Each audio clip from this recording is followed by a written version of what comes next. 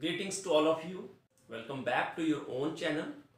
Today we will discuss physical properties of cis and trans isomers. First property is dipole moment. To compare dipole moment, let us use a simple case. This is cis alkene and this one is trans. In cis alkene, CCl polar bonds are on the same side of the double bond.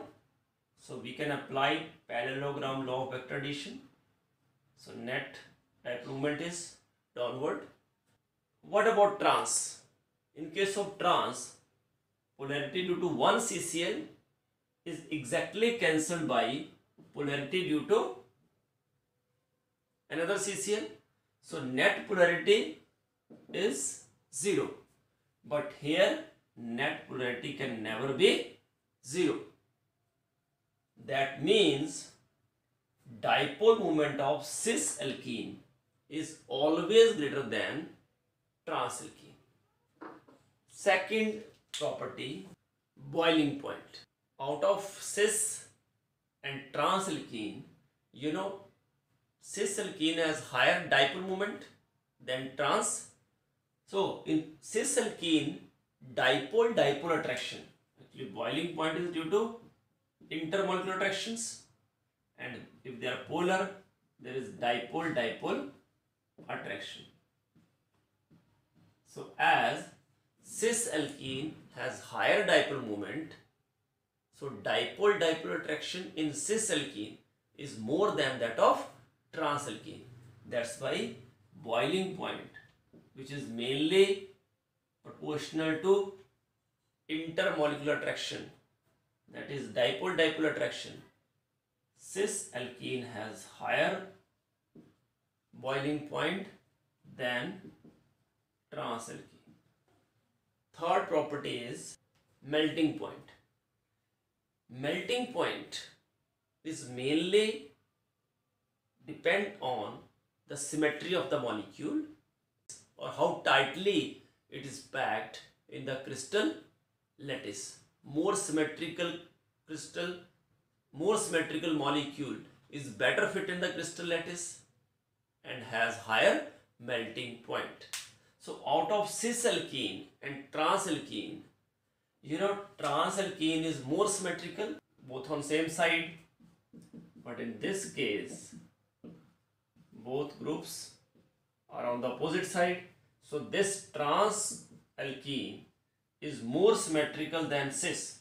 That's why trans alkene is better fit in the crystal lattice, has higher lattice enthalpy, and that's why trans alkene has higher melting point than cis alkene. Fourth, solubility. As we have discussed melting point, trans alkene is more symmetrical, better fit in the crystal lattice, has higher lattice enthalpy, so it is difficult to break the lattice and higher is the lattice enthalpy, lower is the solubility. That's why solubility of trans alkene is less than that of cis alkene. What about stability? So as trans alkene is more symmetrical, better fit in the crystal lattice and if bulky groups are attached on one side because of steric hindrance, cis alkene has more steric hindrance. What is steric hindrance? Hindrance due to size. If bulky groups are there, they hinder more and that's why their stability is less. So trans alkene is more stable than cis alkene because of steric reason as well. Action of heat.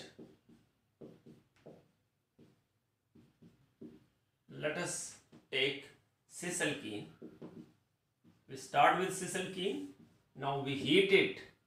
When we heat it, you know, pi bond is weaker than sigma bond because of weak overlapping, sideways overlapping.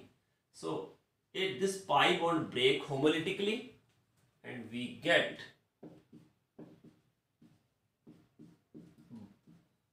di free radical. Now, when there is a double bond, there is a restricted rotation that we have discussed earlier, frozen rotation. But when double bond breaks, we get single bond, it can rotate easily. So, these two forms are in equilibrium. Now, when these two forms again recombine, then we get two products cis alkene as well as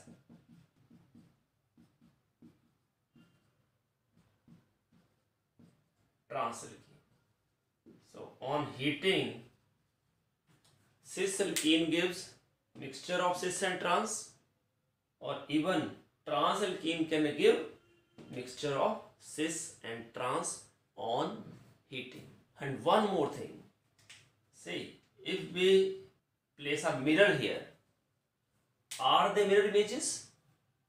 No, because in the mirror H and Cl are the same place but on other side there should be H and Cl but here it is Cl and H. So there is no mirror image relation. So isomers they are geometrical isomers cis trans isomers has no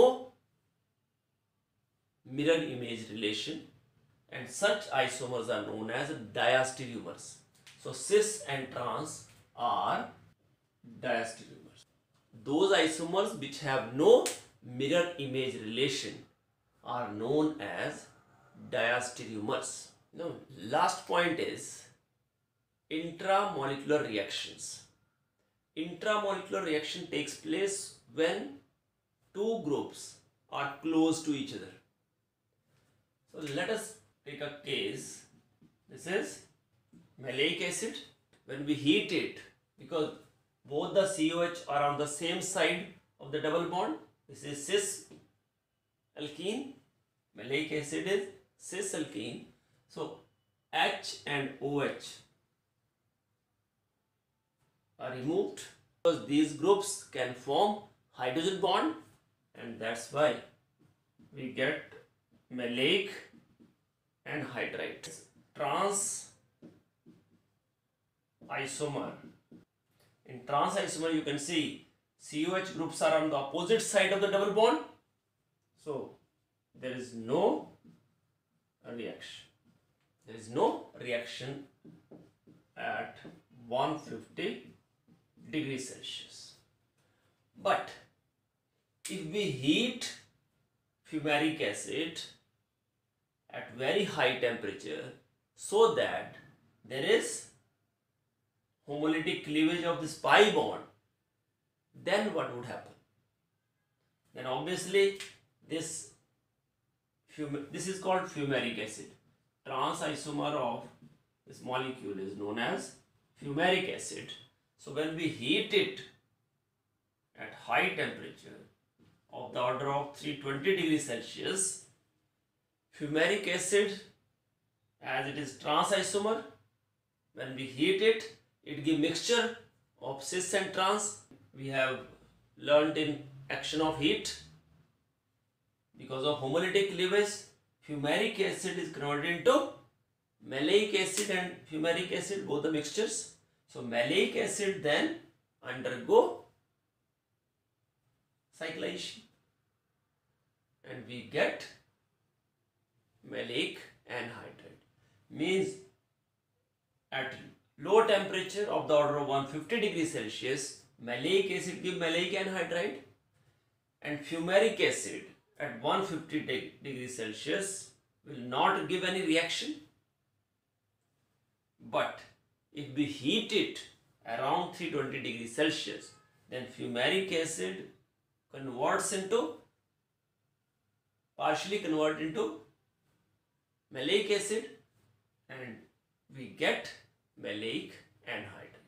That's all about physical properties of cis and trans isomers. Thank you very much for watching this video. Do like, subscribe and share my channel.